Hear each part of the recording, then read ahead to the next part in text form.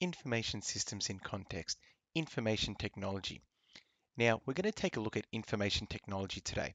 And in relation to the information systems context diagram, it appears right down here in the bottom right corner.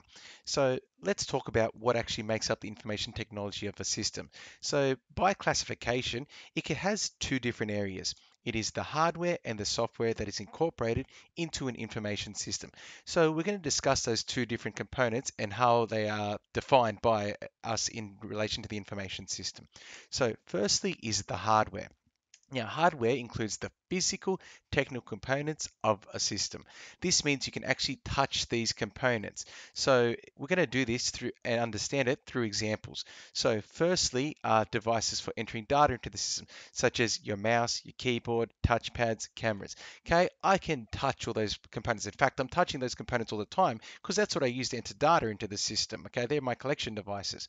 All right, so they are classified as hardware. Next, we have devices for displaying. Okay, I'm looking at my monitor right now. Okay, I can touch my monitor in front of me. Okay, my printers, my speakers. Okay, they are all classified as hardware. Okay, we have storage media. Okay, so things that I put in and out of my system. Okay, so magnetic disks such as my hard drive or external drives, optical disks which are CDs, DVDs, and Blu-rays, and flash memory such as my solid state uh, drive or uh, SD cards or uh, USB flash drives. They are all classified as hardware. And then finally, we have also the things inside my computer. Although I can't physically touch them at the moment, they still exist inside my computer and I could touch them. So things such as the internal components like the CPU, the RAM, and the motherboard, they are all hardware. So anything physical that I can hold is hardware. I don't have it listed here because I ran out of room, but transmission media as well, my switches, my routers, okay, um, network cabling, that is also classified as hardware too. So on the flip side, we then have our software, the other side of information technology. Okay, now these are the elements of the system that are made up of programming code. Okay, so the things that I type up in Python or in HTML or Visual Basic, okay, where I've used a programming language. I can't touch programming language, okay? It is all electronic and exists within the system, okay? And it tells my computer what to do. All right, so they're the electrical components that are made up of code.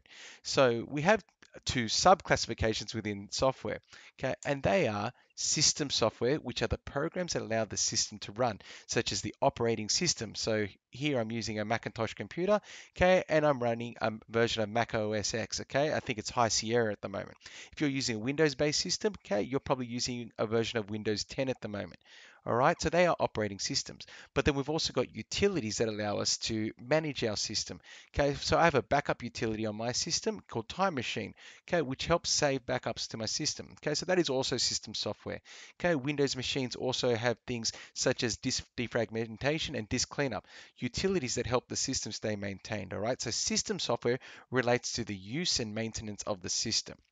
Okay, the other classification of software is application software, and these are the programs which are used by users in order to complete their tasks. So this includes things such as word processors, spreadsheets, presentation software, authoring software, web browsers, and thousands of other classifications, okay? So things that users use to do to their day-to-day work, okay? So information systems are made up of these two categories of software. So I hope this video has given you a nice introduction to what information technology is.